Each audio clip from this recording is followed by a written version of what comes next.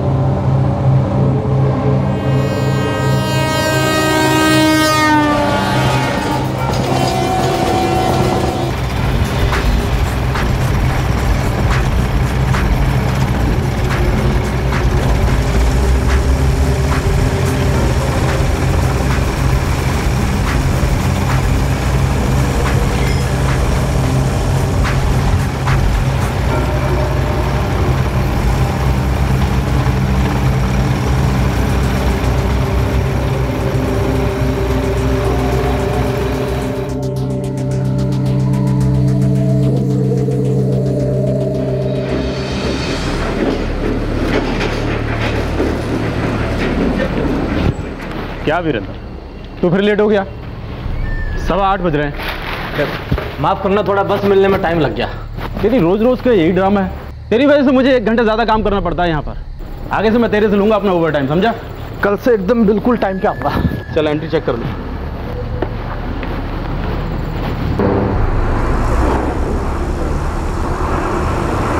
Thank you यार हैं? अरे कितना? अस्सी पचपन साढ़े आठ पे।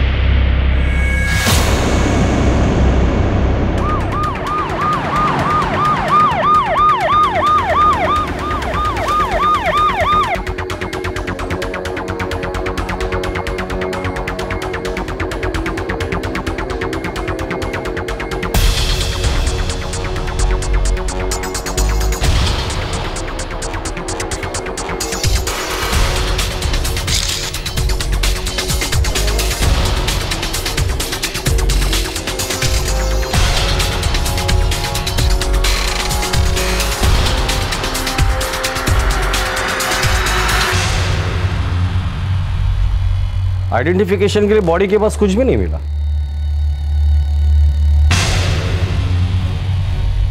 साहब मैं यार्ड नंबर तेईस का सिक्योरिटी गार्ड हूँ।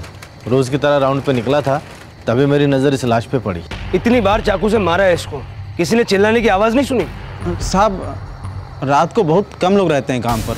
आवन जावन कम ही रहता है लोगों का। अरे लेकिन कोई यार्ड के अंदर आया इस आदमी को मारा तो ये मरने वाला चिल्लाया नहीं होगा? चीखा नहीं होगा? मुझे नहीं पता साहब। मैं तो रोज़ लेट आता हूँ ड्यूटी पे। आज भी सवा आठ बजे आया था तब से तो कुछ नहीं सुना। कौन है कौन ये? यहाँ का वर्कर है? साहब अगर ये वर्कर होगा तो गेट पर इसके आने का एंट्री होगा साहब। देसाई बॉडी पोस्टमार्टमला पाठवून द्या सर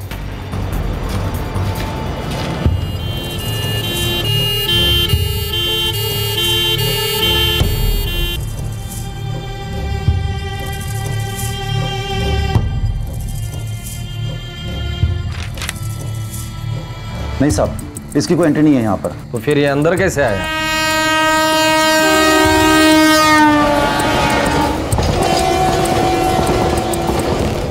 कभी कभी लोग इधर से भी आते हैं और ये हमारी मालगाड़ी की रेलन है साहब जो आगे जाकर के वेस्टर्न और सेंट्रल रेलवे की ब्रॉडगेज में मिल जाती है।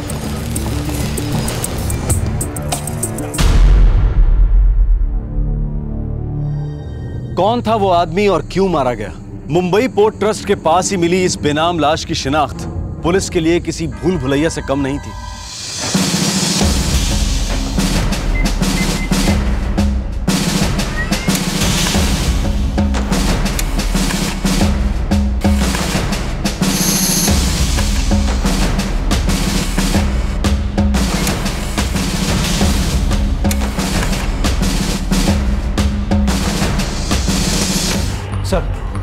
और आसपास के सारे पुलिस स्टेशन से पता किया।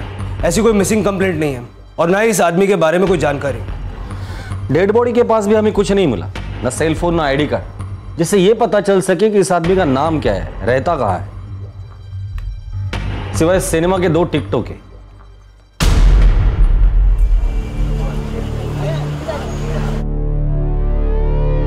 उम्र 35 से 40 के बीच है चौदह बार वार हुआ है।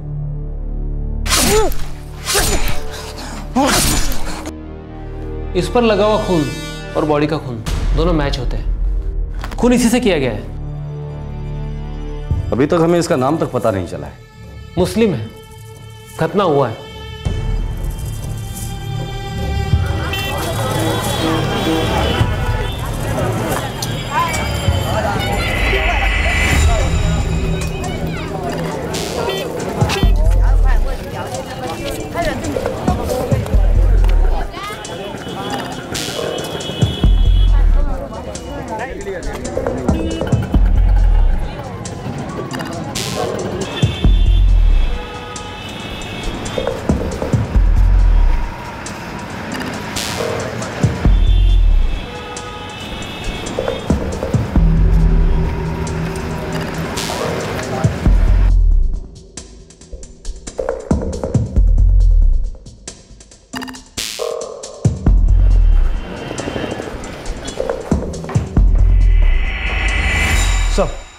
कोई बॉडी लेने या तलाश करने भी नहीं आया अब तक। ताज्जुब है। इस आदमी को पहचानने वाला एक भी आदमी मुंबई में नहीं है। सर पिक्चर की दो टिकटें उस एंगल में इन्वेस्टिगेट करें। हो सकता है कोई क्लू मिल जाए। ठीक है। अब तक तो ये एक ही सुराग हमारे पास है।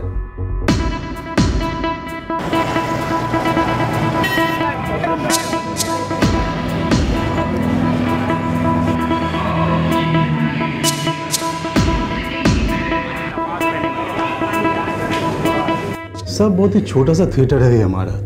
तीस रुपए का टिकट है आज के ज़माने में भी। यहाँ पे सीसीटीवी कैमरा कहाँ से लगाएँगे साहब? ये फ़ोटो ध्यान से देखो। चार जुलाई को ये आदमी यहाँ पिक्चर देखने आया था। देख के बताओ पहचानते हो इसे? नहीं साहब पता नहीं कौन है। रोज बहुत सारे लोग आते हैं यहाँ पे साहब। पर साहब एक बात है शायद आपका किसी काम आ जाए। बोलो। साहब मजदूर टाइप के लोग ज़्यादा आते हैं यहाँ पे। और बाजू में कोठे हैं। कुछ लोग तो वहाँ से लड़कियाँ भी लाते हैं। और हो सकता है ये किसी का कस्टमर हो और वो पहचान जाए।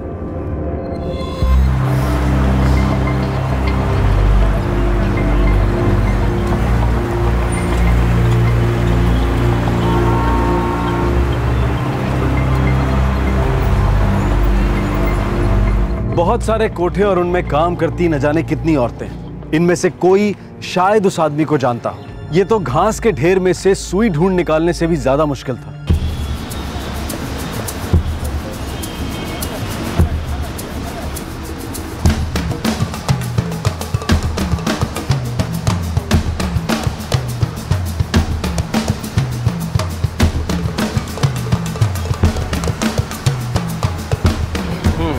ये हो गया ये हो गया ये हो गया ये हो गया और वो पीछे वाला एरिया भी हो गया ना? हाँ सर पर अभी भी चार एरिया बाकी है। चलो वो भी देख लेते हैं शायद कुछ मिल जाए।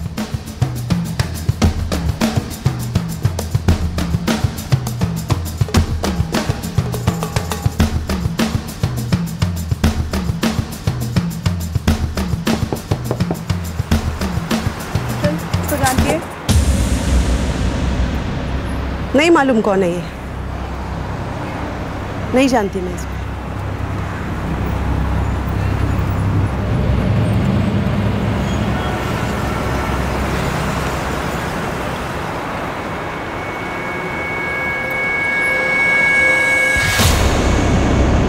छोड़!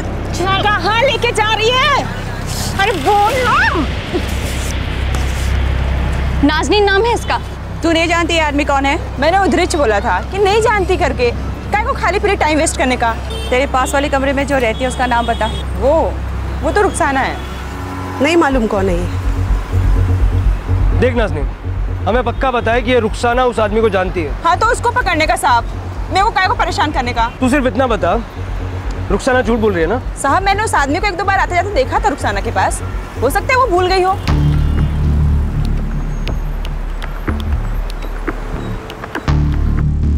तू जानती है इसको रुखसाना नहीं। नहीं जानती। हमें पता है तुम झूठ बोल रही हो। एक बार बोला ना साहब।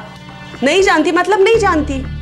अभी भी झूठ बोल रही हो। मैं सच्ची बोल रही है साहब। हमें सिर्फ़ ये पता करना है कि ये आदमी है कौन। साहब धंधे से सर उठाने का टाइम नहीं मिलता।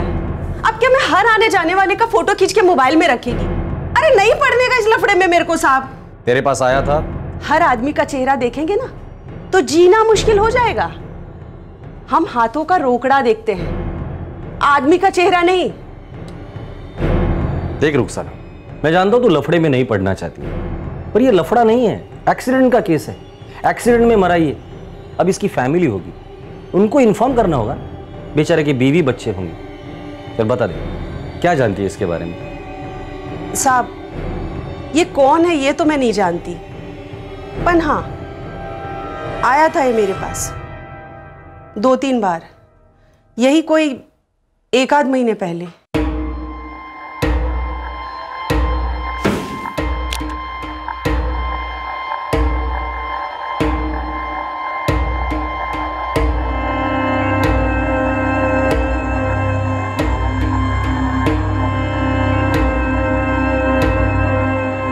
कस्टमर था साहब? और कुछ नहीं पता। कस्टमर था दो तीन बार आया था। कभी नाम नहीं पूछा उसको इधर कौन अपना असली नाम लेकर आता है साहब? और अपने को क्या करना किसी का नाम पता ठिकाना जानकर?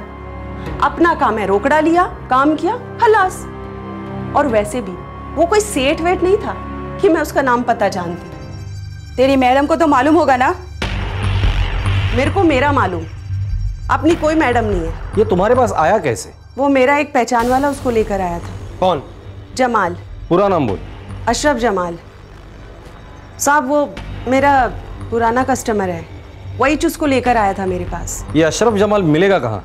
वो तो नहीं पता साहब। वो कोई कंस्ट्रक्शन साइट पे दिहाड़ी मजदूरी का काम करता है। किधर? इधर इच वडाला में कहीं।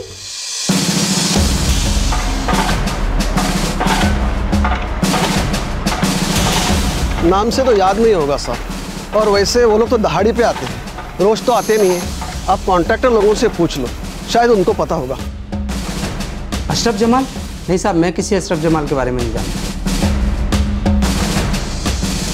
बंगाल वाला अशरफ जमाल तो नहीं साहब? कहाँ का है पता नहीं। कुछ पैंतीस छत्तीस साल का है। हाँ साहब पैंतीस छत्तीस साल का ही है।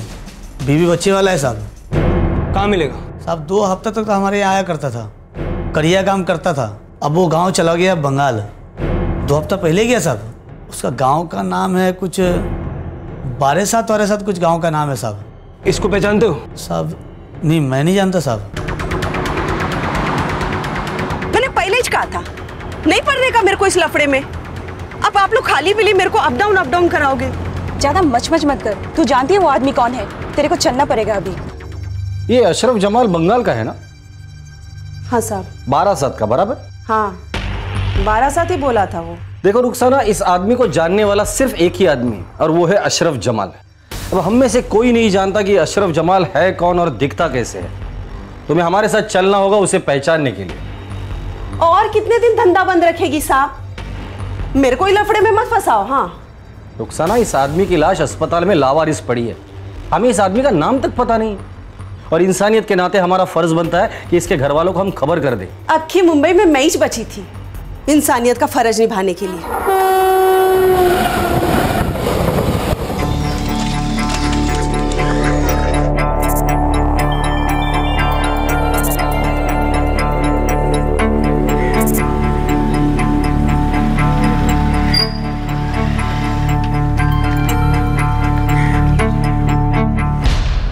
अभी सात गाँव और बाकी है। और बारह सात जिला है साहब। बहुत सारा गाँव है जिला में। और यदि अशरफ जमाल इधर का है तो मिल ही जाएगा। ठीक है। इस काम के लिए अगर ज़्यादा लोगों की ज़रूरत है तो ले लो। लेकिन ये अशरफ जमाल मुझे किसी भी हालत में चाहिए। ठीक है साहब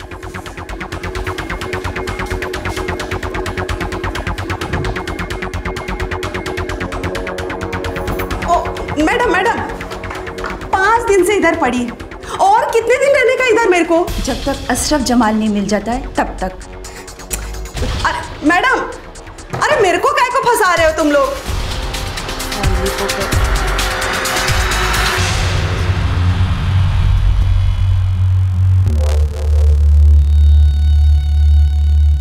उस बेनाम आदमी का खून हुए दो हफ़्ते गुजर चुके थे लेकिन पुलिस को अब तक उसका नाम भी पता नहीं चला था। लगभग दस दिन तक पश्चिम बंगाल में रहने के बाद पुलिस को इस केस का पहला सुराग मिला। अशरफ जमाल के बारे में जानकारी मिली जो शायद मरने वाले को जानता था। हेलो? हाँ साहब। मिल गया अशरफ कहाँ है वो इधर ही चांदपुर में देसी दारू के अड्डा में पड़ा है पीके टूने है साहब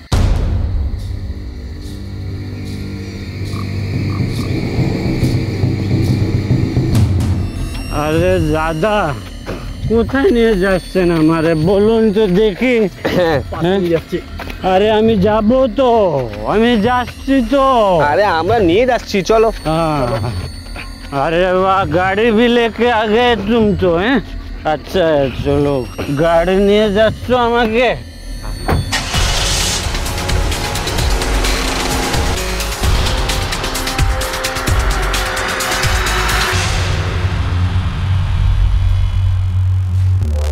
यही है अशरफ जमाल हाँ साहब यही છે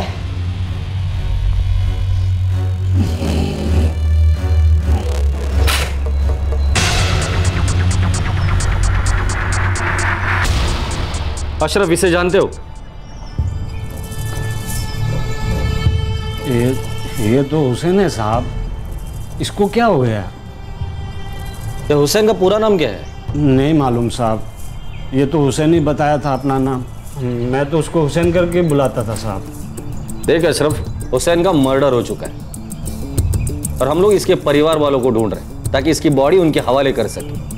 और इसके खूनियों को भी पकड़ने हैं। साहब, मैं इसके परिवार के बारे में कुछ नहीं जानता साहब। वो दो तीन हफ़्ता इसके साथ काम किया था, वो कंस्ट्रक्शन के साइड पे साहब। इसके अलावा कुछ नहीं पता साहब मुझे।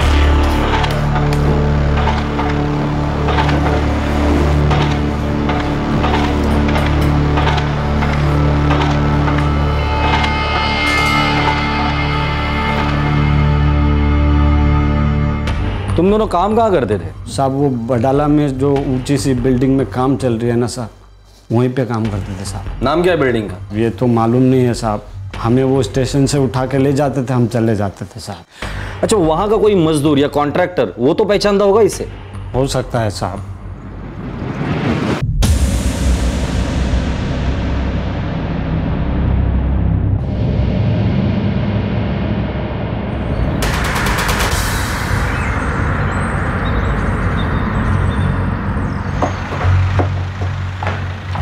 हाँ साहब ये हुसैन है। इस हुसैन का पूरा नाम क्या है? ये रहता कहाँ था? और इसके फैमिली के बारे में क्या जानते हो? अब इसका बायोडाटा तो मुझे नहीं मालूम साहब। लेकिन इतना मालूम है कि ये ग्रैंड रोड स्टेशन के बाहर खड़ा रहता था। वहीं से इसको मैंने तीन चार बार उठाया।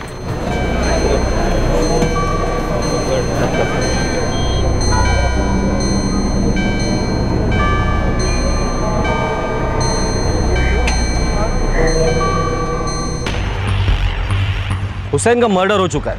हम लोग इसके घर वालों को ढूंढ रहे हैं। इस हुसैन के बारे में क्या क्या जानते हो तुम? ज़्यादा कुछ मालूम नहीं सर। लेकिन एक नंबर का बेवड़ा था। झगड़ा करने के लिए हमेशा तैयार रहता बात बात पर उसकी खोपड़ी सटकती थी। इससे काम करवाना बहुत मुश्किल था साहब। कारीगर की कमी ना होती तो मैं इसको कभी काम पर नहीं रखता। मूल जी ऐसी कोई भी बात बता सकते हो जिससे हमें ये पता चले कि हुसैन है कहाँ का? इसका दोस्त कौन है? दुश्मन कौन है? ऐसी कोई भी बात बताओ जिससे हमें ये पता चले कि हुसैन का मर्डर हुआ क्यों है? एक दिहाड़ी मजदूर है मनोज। वो इसको जानता था। आप उससे पूछताछ करो। ये मनोज है कौन? वो रोजंदारी पे मजदूरी करता है। हुसैन के साथ मैंने कई बार इसको काम पे रखा था। और ये मनोज मिलेगा कहा? ये आप कांति से पूछो। वो एक लेबर कॉन्ट्रैक्टर है।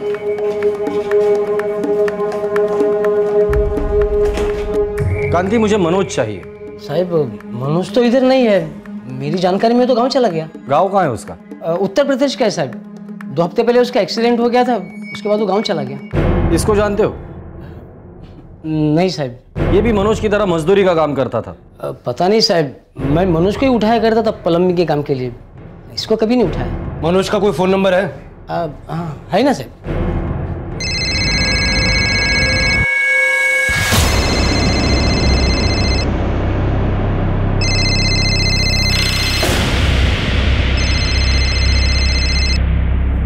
हेलो। मनोज? जी बोल रहा हूँ। आप कौन? इंस्पेक्टर जादव बोल रहा हूँ वडाला पुलिस स्टेशन से। जी साहब क्या हुआ साहब? ये तुम्हारा दोस्त हुसैन कहाँ है? हुसैन मुंबई में ही होगा साहब। मैं तो इधर गाँव में हूँ। क्या हुआ साहब? अब क्या किया हुसैन ने? मुझे हुसैन का पूरा नाम चाहिए। उसके फैमिली के बारे में क्या जानते हो तुम? साहब उसने कभी अपना पूरा नाम बताया नहीं। मैं उसे हुसैन ही बुलाता था साहब। और ज़्यादा जान पहचान तो थी नहीं हमारी। हम एक ही जगह काम करते रहे बस इतना ही साहब और वैसे भी मैं उससे दो हाथ दूर ही रहता था साहब क्यों? साहब एक तो वो बहुत पीता था। ऊपर से ज़रा ज़रा सी बात पे सबसे झगड़ा करता था साहब और कोई भी उसको काम पर लेना ही नहीं चाहता था। मजदूर कम हो मजबूरी हो तभी उसको बुलाते थे साहब मनोज तुम्हारे दोस्त हुसैन का खून हो चुका है। क्या? किसने मारा होगा उसे?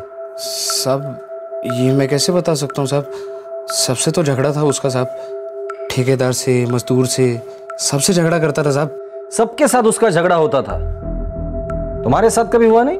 सब मेरा भी होता था पर हम लोग साथ में मजदूरी ढूंढते थे इसलिए वो मेरे साथ ठीक ही रहता था साहब। सोच के बता कौन हो सकता है इसके पीछे? पता नहीं साहब। ठीक है। कांति तुम जा सकते हो। देसाई पता करो मनोज उस रात कहाँ कहाँ गया था। उसके हर मूवमेंट को ट्रैक करो। हो सकता है इस मर्डर में वो भी शामिल हो और फिर एक्सीडेंट का बहाना बनाकर गाँव भाग गया हो। सर। एक मिनट। मनोज का फ़ोन है। हाँ मनोज बोलो। साहब एक बात बतानी थी। बोलो। हुसैन का पंगा हुआ था मंटू के साथ। उसी ने मुझे बताया था साहब।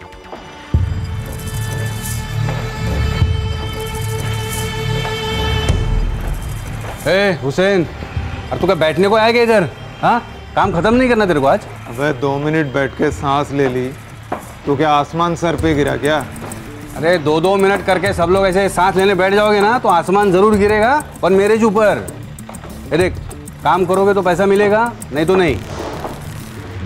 बात तो ऐसे करता है जैसे एहसान कर रहा है काम देके और पैसा देके। हुसैन तू सबसे पंगा लेना बंद करना। मेरे को पंगा लेने का शौक नहीं है। ये लोग सोचते हैं हम लोग साले इंसान नहीं जानवर भी नहीं सिर्फ़ मशीन है मशीन। खड़खड़ खड़खड़ खड़खड़ खड़खड़ बटन दबाया काम चालू। कल वो लंगड़ा मंटो पीछे पड़ गया था। साला किसी दिन खोपड़ी सटक गई ना उसको ठोक डालूँगा मैं। तू अगर पीना बंद करेगा ना तो सब ठीक हो जाएगा तेरे लिए। ये मंटू कहाँ मिलेगा? सब ये तो मैं नहीं जानता। पर हुसैन ने ही बताया था कि उसका मंटू के साथ पंगा हुआ था। दोनों देसी दारू के अड्डे पे इकट्ठे जाते थे साहब। और वो मंटू क्या करता था मजदूर था क्या था मुझे नहीं मालूम साहब।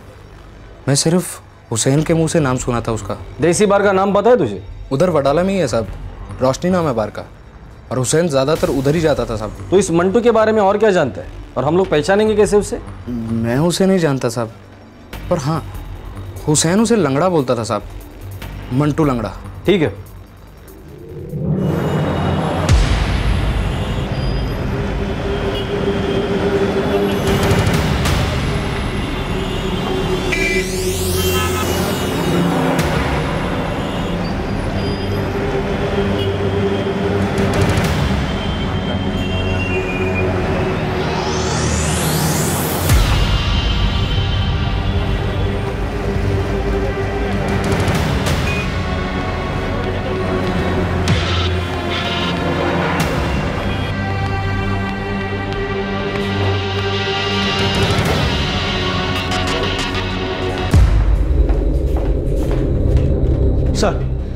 रात हो गई। मनोज ने बताया था वैसा कोई भी आदमी उस बार में नहीं आया। इस मनोज के बारे में कुछ पता चला? नहीं सर। ऐसा नहीं लगता कि उसका मर्डर में कोई हाथ है। वो जिस साइड पे काम करता है वहाँ से मैंने कंफर्म किया। उसका वाकई में एक्सीडेंट हुआ था। हुसैन की लाश अभी भी मॉर्ग में वैसी ही पड़ी हुई है।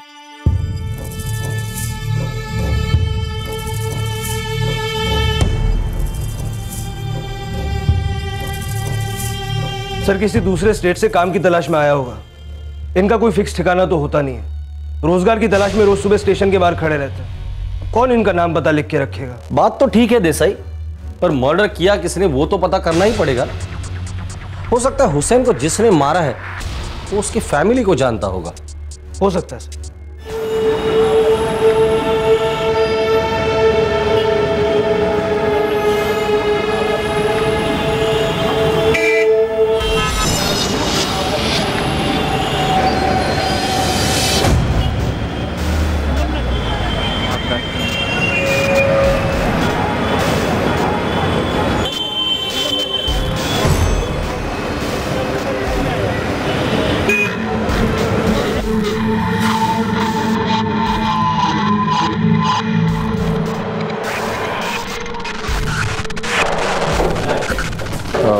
वो आदमी कौन है? कौन? जो लंगड़ा के चलता है आखिरी टेबल पर बैठा है। अरे वो मंटू है। मंटू? हम्म।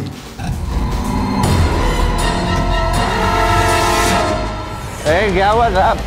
अरे साहब साहब बोलो तो देख साहब साहब एक अरे साहब क्या कीजिए? साहब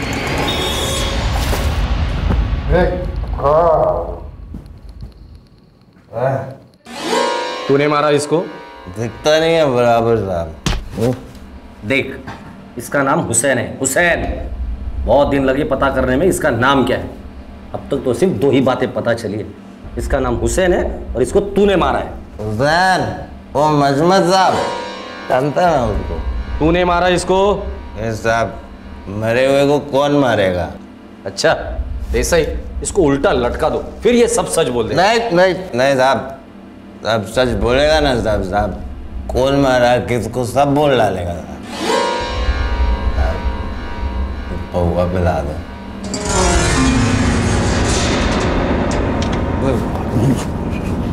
चल अब बता दे किसने मारा हुसैन को? अभी साहब बहुत चढ़ गई है। सुबह बात करते हैं। बे साले चल के तो अपनी एक टांग पे आया था। अभी मुँह नहीं खोला ना तेरी दूसरी टांग भी तोड़ दूँगा।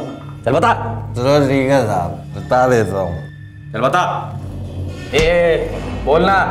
हुसैन को मैंने मारा साहब साथ में मेरे दो दोस्त थे बबलू चंदर बहुत अकड़ती साहब हुसैन में दो कौड़ी का मजदूर मैं कॉन्ट्रैक्टर फिर भी साला सबके सामने गाली देता था मेरे को साहब हाँ तो क्या पूरा नहीं करेगा काम? ए बार बार कान मत खा। काम बोला है हो जाएगा। तू मच मच करेगा ना तो नहीं होगा। नहीं मेरे को अभी पूरा काम चाहिए। चलो चल। अभी तो मैं नहीं करता। तू उखाड़ ले जो उखाड़ना। ए हुसैन कॉन्ट्रैक्टर मैं तू नहीं समझा क्या? चल। बे तू सिर्फ़ ठेकेदार है। मेरा बाप तो नहीं ना जिसकी मैं सुनूं।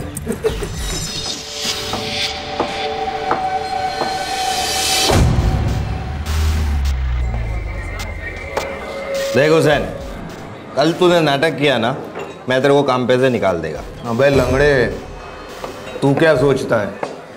तू रोटी फेंकता है इसलिए मैं ज़िंदा हूँ। उबार की पीता है तू। ठेकेदार कोई तेरे को खड़ा नहीं करता साले तेरी अकड़ कम नहीं होती। मुंबई के हर स्टेशन पे तेरे जैसे कम से कम पचास लोग खड़े रहते हैं काम मांगने के लिए। चल ठीक है कल से किसी और को उठा लेना। मेरे को भी तेरे साथ काम पे नहीं आने का। पछताएगा तू रोएगा साले एक दिन। वो दिन कभी नहीं आएगा, साले झिंगुर। किसी दिन सटक गई ना तो दो टुकड़े करके फेंक दूँगा तेरे को। पुलिस पता ठिकाना पूछती फिरेगी तेरी।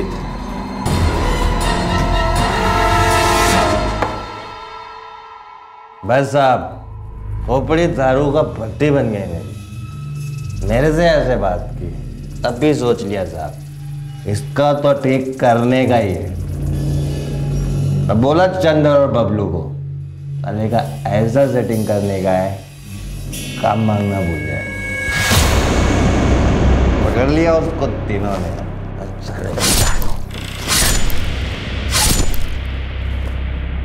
पहले का स्टोरी खत्म।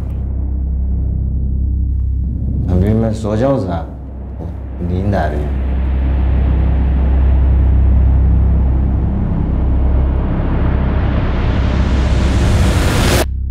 सर उस मंटू ने पूरा पुलिस स्टेशन सर पे उठा रखा है। अरे बुलाओ ना साहब को मेरे को बात करने का है। क्या रे? क्यों हल्ला कर रहा है? क्या साहब? इधर काय को बंद कर रखा है। मेरे को काम पे जाने का है साहब। साहेब मेरा पूरा काम साहेब पूरा लोग मजदूर इंतज़ार कर रहे होंगे साहेब मेरा ए चुप। क्यों शोर मचा रहा है? शोर काहे का साहब? ये लोग बोल रहे हैं मैंने किसी हुसैन को मारा है। कौन हुसैन साहब? मैंने नहीं मारा किसी को फंसा रहे मेरे को ये लोग जास्त शानपणा करो नको सा साहब मैं ठेकेदार हूँ साहब मर्डर वर्डर काम ही नहीं मेरा रात को टाइट होकर पूरी स्टोरी बोल चुका है तू क्या क्या बोला मैं सब सब में क्यों मारेगा किसी हुसैन को साहब साहब मेरे को देरी हो रही है साहब मेरे को साइड पे जाने का है साहब साइट पे जाना है तुझे देरी हो रही है अब तेरी उतर गई है ना अब तू सब सच बोलेगा अरे जा साहब साहब खाली पीली गरीब को फंसा रहे हो साहब मैंने नहीं मारा साहब किसी को मैं है साहब ऐसा लगने लगा था कि पुलिस के हाथों हुसैन का कातिल लग चुका है। पुलिस को पूरी उम्मीद थी कि मंटू से पूछताछ कर हुसैन का पता, पूरा नाम और सब जानकारी मिल सकेगी। पिछली रात मंटू ने जुर्म कबूल किया, लेकिन सुबह होते ही उसने यू टर्न ले लिया। क्या कभी इस केस को क्लोजर मिलेगा? क्या मरने वाले को नाम, पता, परिवार आइडेंटिटी मिल पाएगी?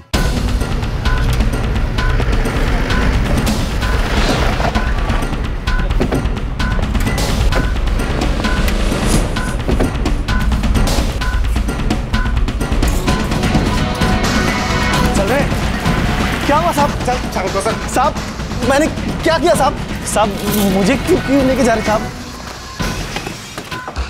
चंदर का है? पता नहीं साहब बहुत दिन से उसको देखा नहीं। चला। कैसे मारा हुसैन को?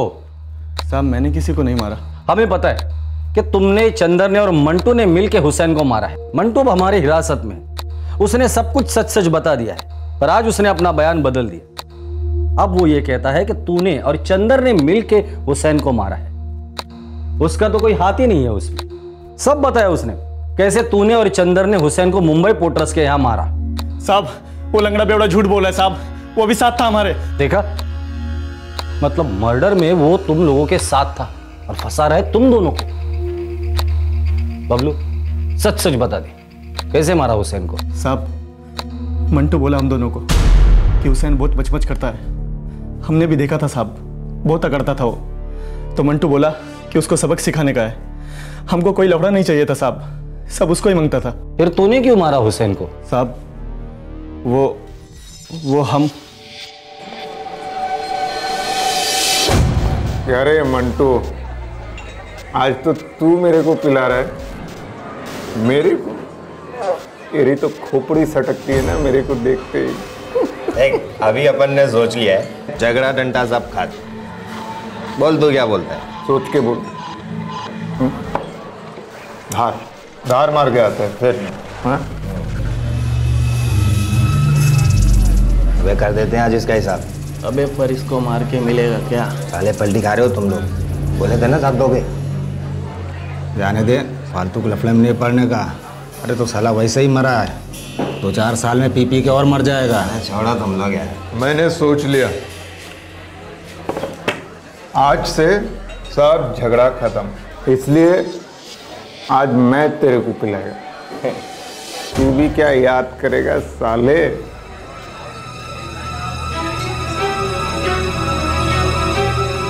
अबे आज बहुत माल है तेरे पास। सब कॉन्ट्रैक्टर लोगों के साथ पंगा लेके सबसे वसूली कर लिया। सबका हिसाब खत्म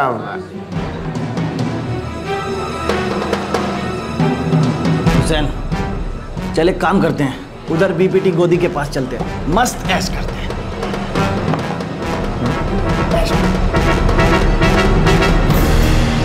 चलो साले के ऐश करते हैं आज। हमने सोचा था हुसैन का पैसा मार लेंगे और मंटू जो चाहता है वो भी कर देंगे। मंटू भी खुश अपन भी खुश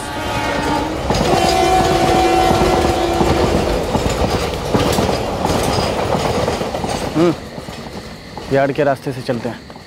बोले। यार्ड के रास्ते से चलते हैं। क्या बोला कुछ नहीं यार्ड से शॉर्टकट लेते हैं। मैं तो थोड़ी देर में लुढ़कने वाला हूँ यार। बस क्या हुसैन चलना। वो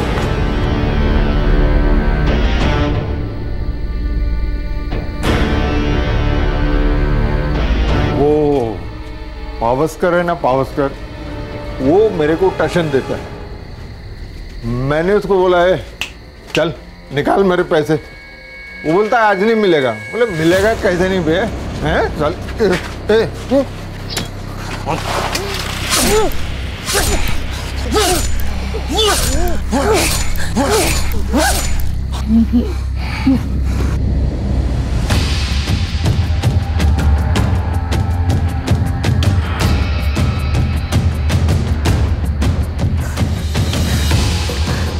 मोबाइल बेच के कुछ तो मिलेगा। मंटू चल निकल।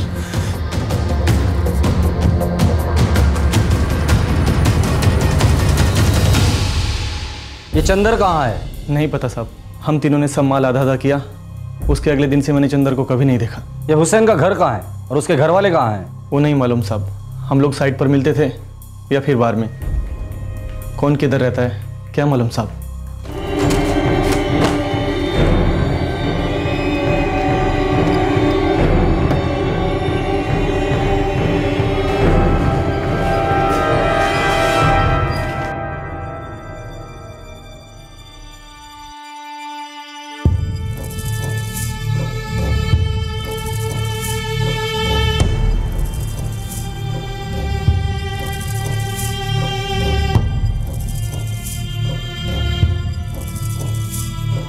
लगभग एक महीने बाद हुसैन को दफनाया गया और उससे कुछ समय पहले ही इस हत्या का तीसरा आरोपी चंदर भी पकड़ा जा चुका था। मंटू, बबलू और चंदर अभी पुलिस की हिरासत में है। हुसैन की शिनाख्त करने में, उसके खूनियों तक पहुँचने में पुलिस ने जरा भी कोताही नहीं बरती।